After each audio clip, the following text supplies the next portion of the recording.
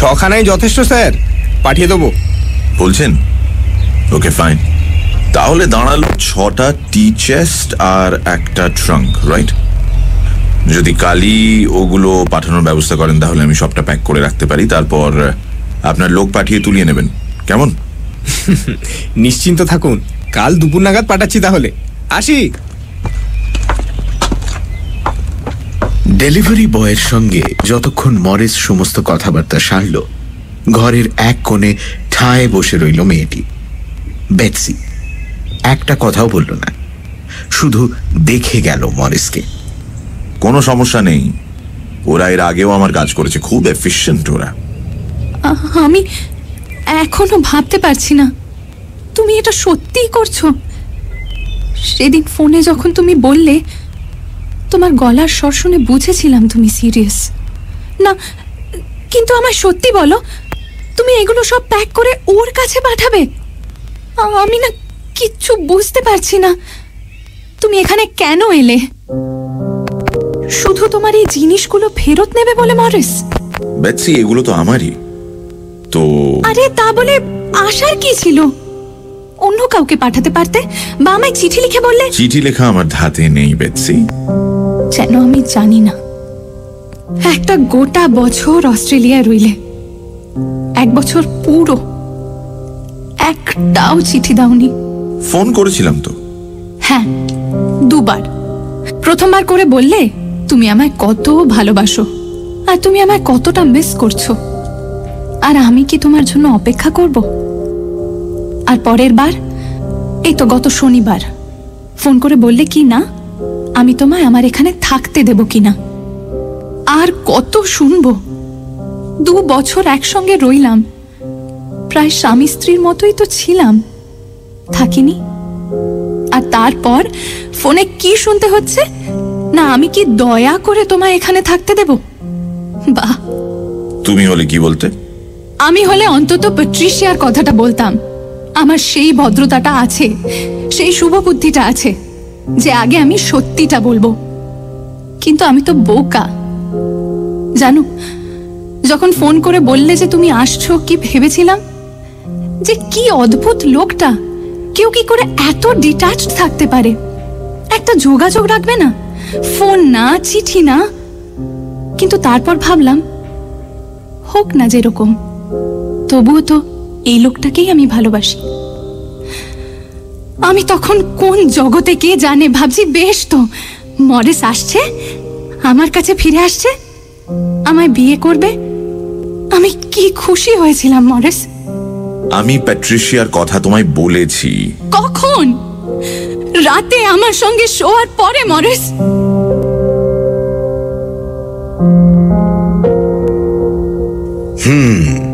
ওই একটা ভুল করে ফেলেছিল বেচারি মরেস।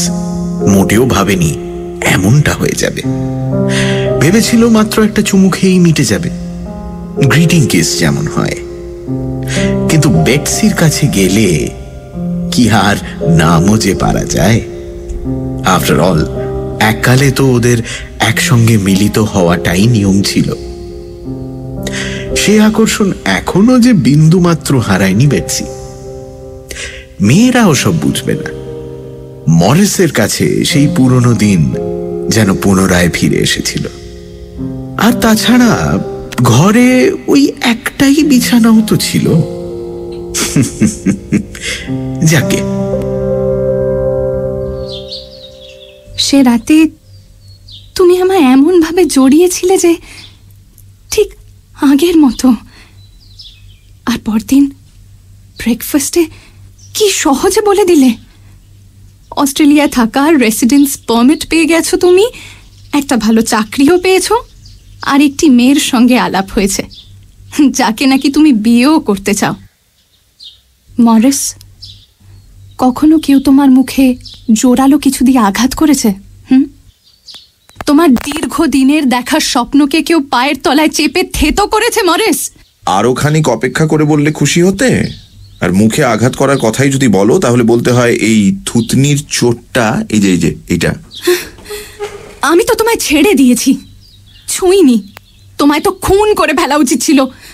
তোমার এই দামি শো পিসটা ব্রঞ্জের পেপার নাইফ, তোমার কি প্রিয় না এটা? ওই অনেক পাথরের পেনজার আর অ্যাস্ট্রেটা? আমি তো আগলে রেখেছিলাম প্রত্যেকটা জিনিস, তোমার স্মৃতি যত্ন করে রেখেছিলাম। আর এখন তুমি কি করলে? না সব প্যাক করে পাঠিয়ে দিচ্ছ ওকে? যে জিনিসগুলো নিয়ে আমরা থেকেছি, একসঙ্গে সময় কাটিয়েছি, জানো, ওগুলোর দিকে তাকিয়ে দেখতাম আর ভাবতাম হ্যাঁ মরে সেটা সেই দিন কিনে দিয়েছিল আমাকে, যেদিন আমরা একসঙ্গে হা ভগবান, আমি ভাবতে পারছি না, তুমি সব ওই মেয়েটাকে পাঠিয়ে দিচ্ছ, মরিস। এই বড় সোফাটা তুমি রাখতে পারো। দুদিন শোয়ার চেষ্টা করেছিলাম, এত খারাপ জীবনে দেখিনি। রাখবে এটা? হঠাৎ আর মাথা ঠান্ডা না রাখতে পেরে বেটসি একটা বন চায়নার মূর্তি তুলে মরিসের দিকে ছুঁড়ে মারল। মরিস ভাগ্যিস মাথাটা সরিয়ে নিয়েছিল। গিয়ে লাগল পেছনের দেওয়ালে। এরে কি করছ? আর একটু হলেই ফ্রেমের পেন্টিংটা যেত। আরে প্রচুর দামি এটা। বেটসি আর নিতে পারেনি। সোফায় নিজেকে ছুঁড়ে দিয়ে ফুঁপিয়ে কাঁদতে লাগল।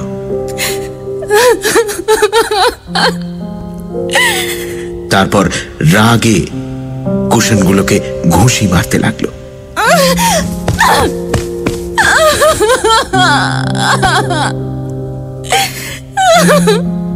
কিন্তু মরেসের তো কিছুতেই কিছু এসে যায় না আর।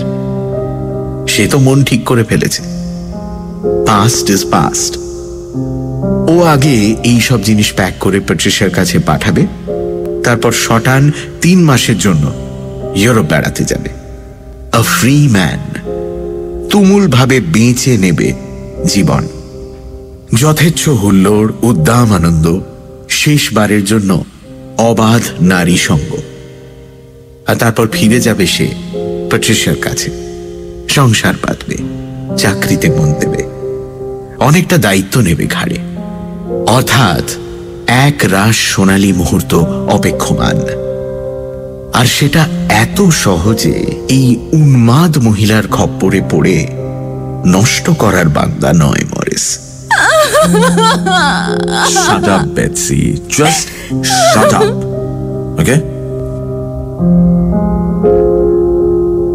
মরিস বেটসিকে কাঁধ ধরে জোরে ঝাঁকিয়ে বেরিয়ে গেল বাইরে। ততক্ষণে পাপগুলো খুলে গেছে। আর বেটসি খানিক পরে একটু ধাতস্থ হয়ে নিজের জন্য কফি বানালো, চোখ মুখ ধুলো। কেঁদে কেটে একশো অবস্থা তো। সারা ঘরে হেঁটে বেড়ালো তারপর। অজস্র বই, গয়না, ভাজ, ল্যাম্প, সবকিছু ছুঁয়ে ছুঁয়ে দেখতে লাগল। এগুলোই তো আর আগামীকাল থাকবে না। এখান থেকে চলে যাবে। মরিস পাঠিয়ে দেবে। প্যাট্রিশিয়ার কাছে। বেটসির দুঃখ এতে নয় যে এতদিনের জিনিসগুলো সব চলে যাবে। দুঃখ ওই ফাঁকা হয়ে যাওয়া স্থান থেকে নিঃসৃত নিঃসঙ্গতার। শুধু তাই তো রয়ে যাবে। আর থাকবে একটা সত্যি। যে এই সব এখন প্যাট্রিশিয়ার মালিকানা। প্যাট্রিশিয়ার কর্তৃত্ব এখন শেষ হবে। রাতে একবার চুপি চুপি পেটসি উঠে এসে মরিসের ওয়ালেটটা খুলেছিল। খুলে প্যাট্রিশিয়ার ছবি বের করে ওটাকে কুটি কুটি করে ছিঁড়েছিল।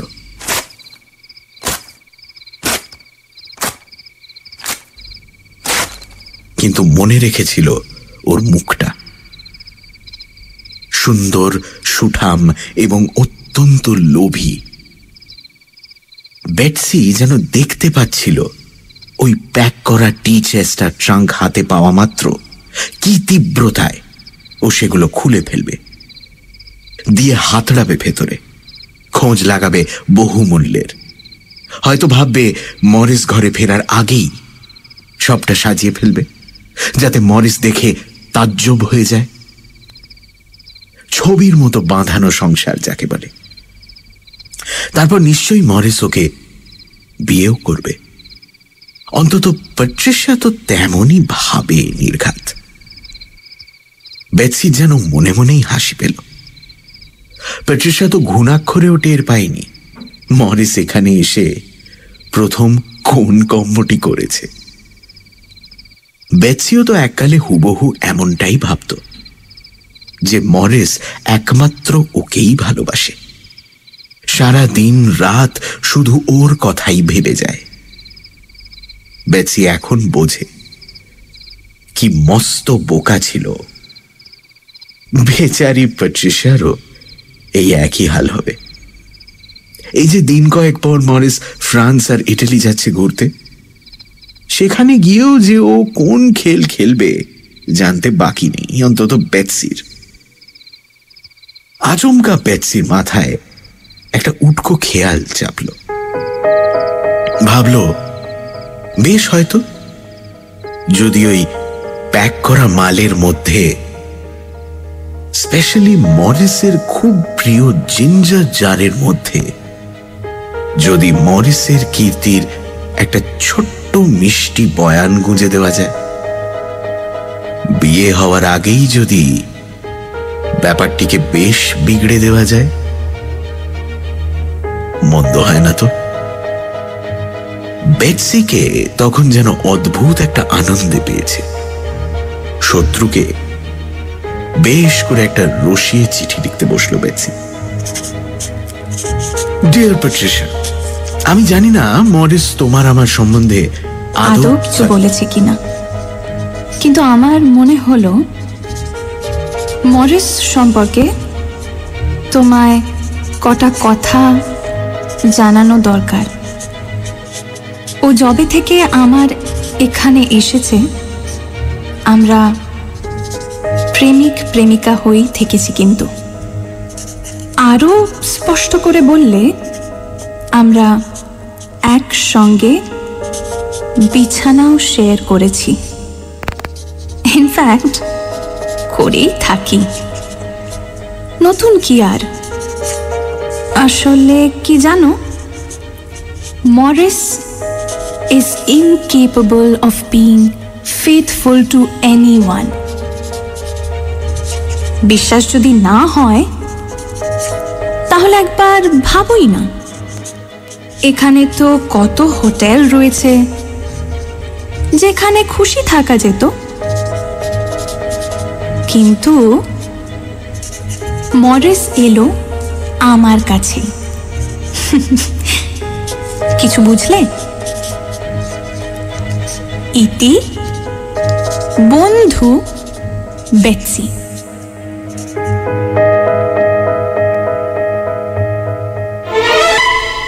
সানডে সাসপেন্স শুধুমাত্র রেডিও মির্চি নাইনটি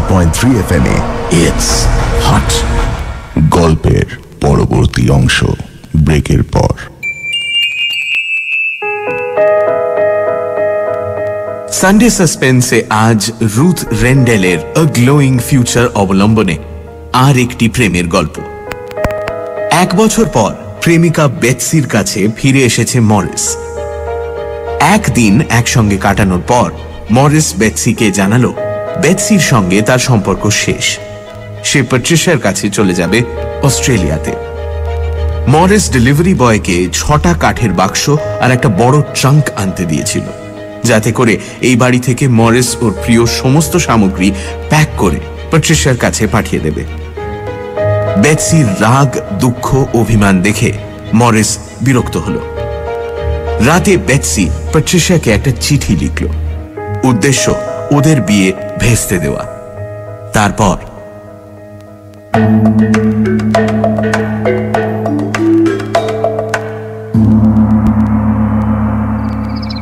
চিঠিটা শেষ করে বেটসির অনেকটা হালকা লাগল। গিয়ে ভালো করে স্নান করল। তারপর নিজের জন্য রান্না করে একলাই খেতে বসল।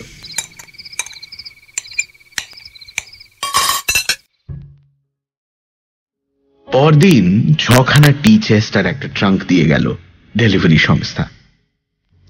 টি চেস্টগুলোয় সুন্দর চা পাতার গন্ধ লেগেছিল তখন। আর নিচে কয়েকটা পাতা আটকেও ছিল। ট্রাঙ্কটাও বেশ দেখতে। রূপলি দেখতে কোনো একটা ধাতুর তৈরি। কত হবে? পাঁচ ফুট লম্বা, দু ফুট চওড়া, আর তিন ফুট উঁচু তো বটেই। আর ট্রাঙ্কের ডালাটা এমন সুন্দর বন্ধ হয় মানে এত ভালোভাবে যে পুরোটা সিল হয়ে যায়। দেখে মনে হয় অনন্তের রহস্য ওতে বন্ধ হয়ে থাকবে। তা যাক, মরিস সমস্তটা নিয়ে বসল দুটো নাগাদ। টিস্যু পেপার আর খবরের কাগজ রেখে দেখে প্যাক করতে শুরু করল। কাঠের টি চেস্ট গুলোয় পুড়ে ফেলল সব রান্নার সামগ্রী। কাপ প্লেট, যাবতীয় কাটলেরি, সঙ্গে বই জামা কাপড় যা মরিস বেটসির এখানে রেখে গেছিল গত বছর। আর খুব ইচ্ছে করেই যেন ও সেই সব সামগ্রী অ্যাভয়েড করছিল যেগুলোয় বেটসির বড্ড মায়া। মানে এই নয় যে ও বেটসির মন খারাপের কথা ভাবছিল। কিন্তু ইচ্ছে করেই বেটসির পছন্দের ওই স্টেইনলেস স্টিল চামচ, ফক, রঙিন চাদর টাদর অবহেলা করে মরেস আসলে বোঝাতে চাইছিল, বেটসি আসলে এখন ফেলনা ওর কাছে। বেটসি ওকে এক বর্ণ সাহায্য করছিল না। ও শুধু বসে দেখছিল আর একের পর এক সিগারেট খেয়ে যাচ্ছিল। মরেস প্রত্যেকটা কন্টেনারে পরিপাটি করে জিনিস ভরে শক্ত করে বন্ধ করে দিচ্ছিল আর তারপর খুব স্পষ্ট করে রং দিয়ে নাম লিখছিল ওপরে। নিজের না প্যাট্রিশার প্রথমে বুঝতে পারেনি মরিস যে এতে বেটসি আরও চটে যাচ্ছিল। কিন্তু যখন বুঝল, তখন যেন আরও আয়েস করে এই ব্যাপারটা করতে লাগল। বেটসি এমনিতেই ওকে বেশ অনেকক্ষণ অবধি বাড়িতে ঢুকতে দেয়নি। চাবিও তো ছিল না যে ঢুকে আসবে। তো যে গাড়িটা ভাড়া করেছিল, তাতেই বসে থাকতে হয়েছিল মরিসকে। যাকে, এখন তো প্যাকিং অলমোস্ট ডান। তোমার ওই জিঞ্জার জারটা ভুলো না। নিয়ে নিও।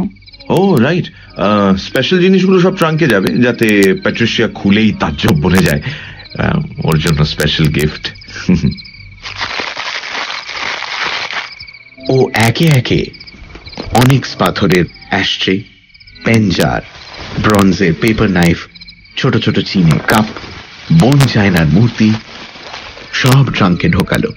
কাস্টমসের হাতে এগুলো সব ধরা পড়লে না? উফ, কি যে খুশি হব। ওরা এগুলো নিয়ে নিলে পারে। বা ভেঙে যাক, সবটা ভেঙে যাক। প্রত্যেক রাত আমি জেগে জেগে প্রার্থনা করব, যাতে ওগুলো সব জলে তলিয়ে যায়, যেন কিচ্ছু না পায় ও, কিছুতেই কিছু না পায়। সমুদ্রটা তো রিস্ক নিতেই হবে। উপায় নেই, আর কাস্টমস নিয়ে চিন্তা করছি না। প্যাট্রিশিয়া নিজেই তো কাস্টমস অফিসার সো ওরা আদৌ ছুঁয়েও দেখবে কিনা সন্দেহ। ওকে অল ডান আচ্ছা শোনো আমি একটু বেরোতে হবে, তালা কিনবো, চাবিটা দাও। আর এবার যদি ওরকম বেগরবাই করেছ, তাহলে পুলিশ ডাকবো কিন্তু। খেয়াল আছে তো? আইনত আমি এখনও এই বাড়ির ভাড়াটে। আচ্ছা বিয়ে খাবার দাবার আছে কিছু? খুব খিদে পেয়েছে। Go find your own bloody food যাও না, অন্য একটা মেয়েকে জোগাড় করো। খাওয়াবে আচ্ছা করে। মরেস আবার বেটসির এই রাগী সাংঘাতিক রূপটাতেই স্বস্তি পেত। ওর ভয় করত প্রেমে কাতর বেটসিকে তো সে যাক, খুব রাতে ফিরল মরেস। ফ্ল্যাটটা তখন অন্ধকারে আচ্ছন্ন। মরেস সোফায় শুয়ে পড়ল। ওর চারপাশে ছড়িয়ে ছিটিয়ে থাকা টি চেস্টগুলো যেন ব্যারিকেড হয়ে মরিসকে ঘিরে রেখেছিল। যেন ঘিরে রেখেছিল ওকে প্যাট্রিশিয়া। হঠাৎ সেখানে হাজির হলো বেটসি অন্ধকারে ওর হাতে একটা মোমবাতি ছিল। আর পরনে সাদা একটা নাইট গাউন। আচমকা দেখে ভূত মনে হবে।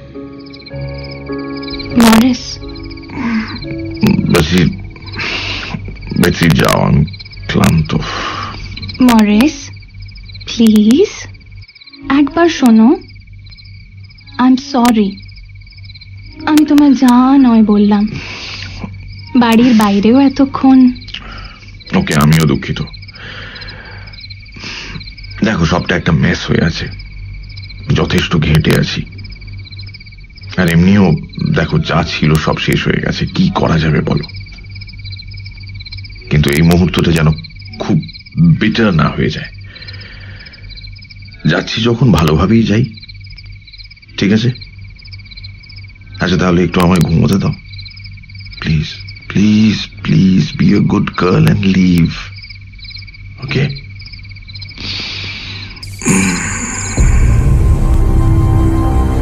কিন্তু এরপর যা হলো, তা মরিস ঘুণাক্ষরেও টের পায়নি বেটসি ঝাঁপিয়ে পড়ল ওর উপর।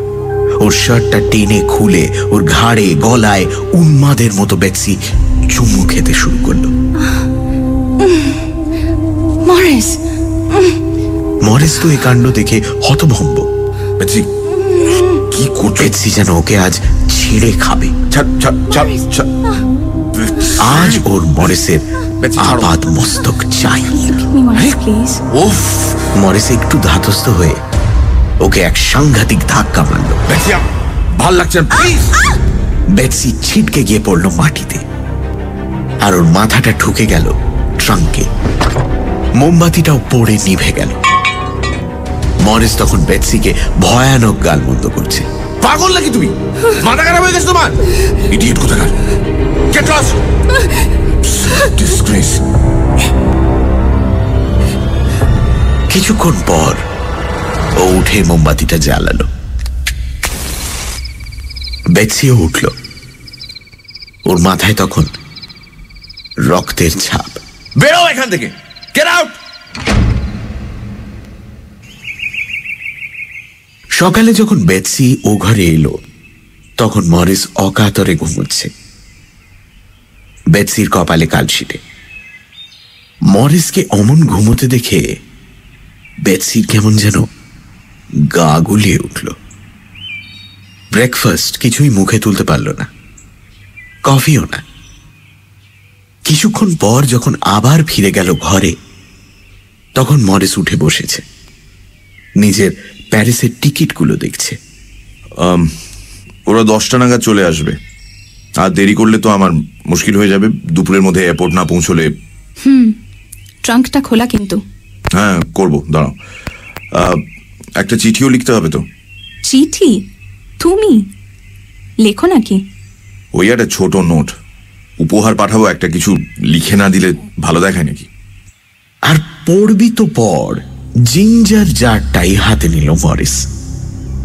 ওটার ভেতরে যে বেটসির চিঠিটা পুরে রাখা ছিল। কিন্তু মরিস ওসব পাত্তাই দিল না। কি সব ফালতু কাগজ ভেবে ওই কাগজটা বের করে ফেলে দিল। আর তারপর? একটা ফ্রেশ কাগজ নিয়ে বেটসিকে দেখিয়ে দেখিয়ে লিখল এই সবটা শুধু তোমার জন্যই প্রিয়তমা। প্যাট্রিশা তুমি চিরতরে আমার। আমি তোমায় ঘেন্না করি মরিস। ঘেন্না? আচ্ছা। হ্যাঁ রাইট রাইট রাইট কিন্তু কাল রাতে যেটা করলে তাতে ঘেন্না কথাটা মাথায় আসেনি? যাকে মরিস জিনিসগুলো শেষবারের মতো গুছিয়ে রাখছিল। জিঞ্জার জারটাতে মরিস নিজের লেখা নোটটা পুরে রেখে দিল। বেটসি কোনো উত্তরই দিল না। শুধু দাঁড়িয়ে দেখল।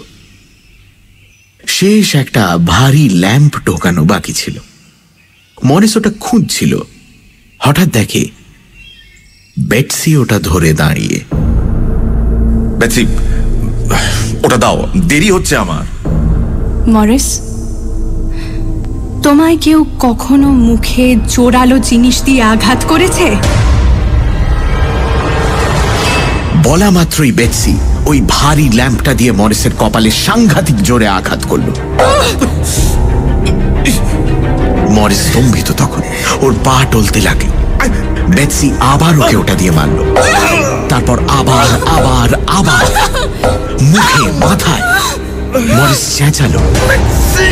কোনো মতে নিজেকে বাঁচাবার একটা শেষ চেষ্টা করল, কিন্তু বেটসিকে তখন আটকানো মুখের কথা নয়। একটা শেষ আঘাতে মরিস স্তব্ধ হয়ে গেল।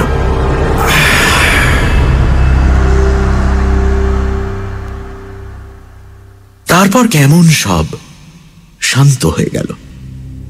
সব শেষ। চারিদিকে রক্তারক্তি।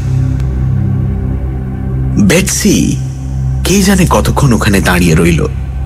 নিথর হয়ে। চোখ দিয়ে অঝরে জল পড়ছে। মুখ দিয়ে অস্ফুটে কান্না।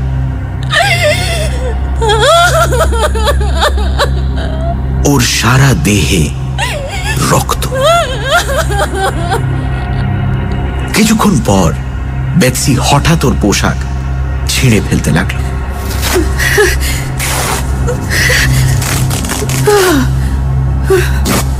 ওই নগ্ন রূপ নিয়ে বেটসি মরেসের লাশের কাছে বসে ডুকরে ডুকরে কাঁদতে লাগল। কেমন পাগলের মতো হয়ে গেল। একবার সামনে ঝুঁকছে, একবার পেছনে।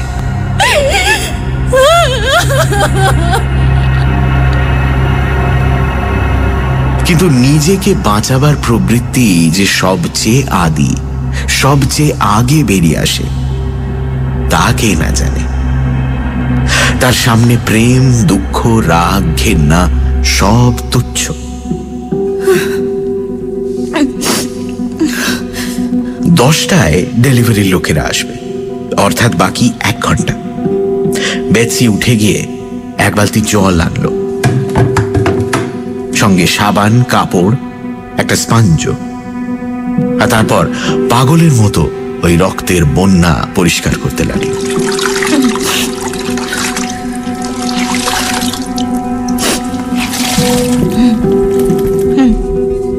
ওই খাটনির চোটে কখন যেন বেতসির কান্নাও থেমে গেল। ওর প্রাণে তখন অনেক শান্তি। উথাল পাথালটাও যেন বিশ্রামে। সব কিছুকে পেছনে ঠেলে দিয়ে ও তখন শুধুই রক্ত সরানোয় মজে রইল।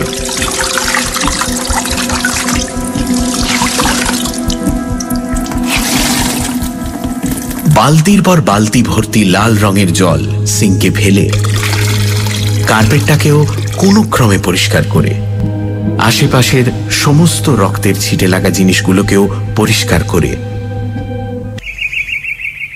ডেলিভারি ছিল একেবারে সময় এলো। ছখানা টি চেস্ট আর রূপলি রঙের ট্রাঙ্কটা তুলে নিয়ে চলে গেল ওরা।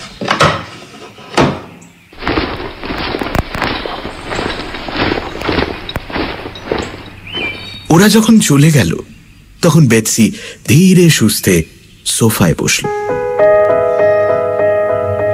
আর তারপর তাকিয়ে রইল ভারী একটা ল্যাম্পের দিকে, অনিক্স পাথরের অ্যাস্ট্রের দিকে, পেনজার ব্রঞ্জ পেপার নাইফের দিকে, চিনে কাপের দিকে, জিঞ্জার জারের দিকে।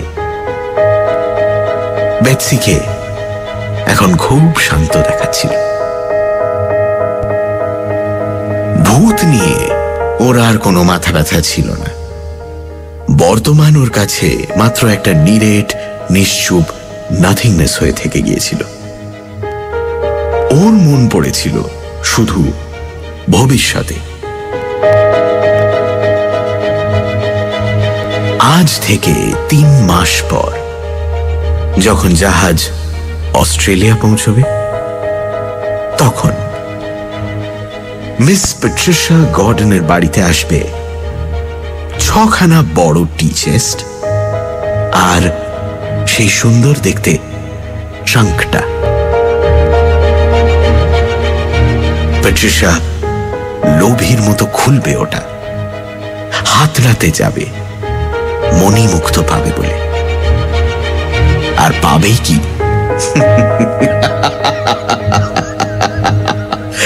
এমন এক দৃশ্য যা জীবদ্দশায় সে দেখেনি। সেই সঙ্গে সেই নোটটা।